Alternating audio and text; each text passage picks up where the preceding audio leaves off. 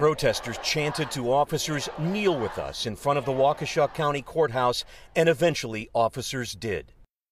Waukesha police posted this photo to Facebook, a protester with his arm around a kneeling officer. We need to separate the wrong from the right.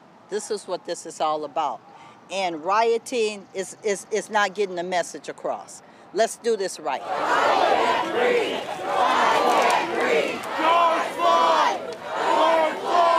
The police killing of George Floyd in Minneapolis I can breathe.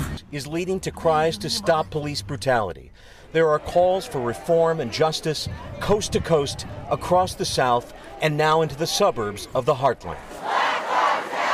We want an immediate end to police brutality and murdering of black people by all people. It's unacceptable in all cases. It's forbidden from here on out. No justice, no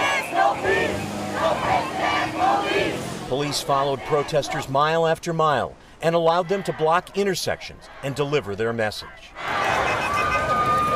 Why did you decide to come out today? I'm a pastor. Pastors, a lot of times, are called to speak, to preach, to teach. I'm here to listen. We need to start listening. And Terry, looking at that video, it looked peaceful. Were there any arrests today?